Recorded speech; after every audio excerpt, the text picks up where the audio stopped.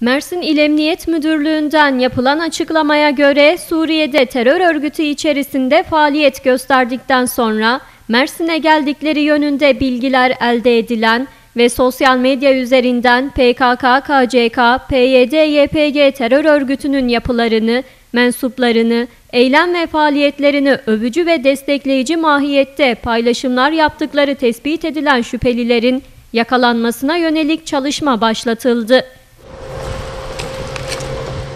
Yürütülen teknik ve fiziki takibin ardından düzenlenen eş zamanlı operasyonlarda 4'ü kadın 11 şüpheli yakalanarak gözaltına alındı.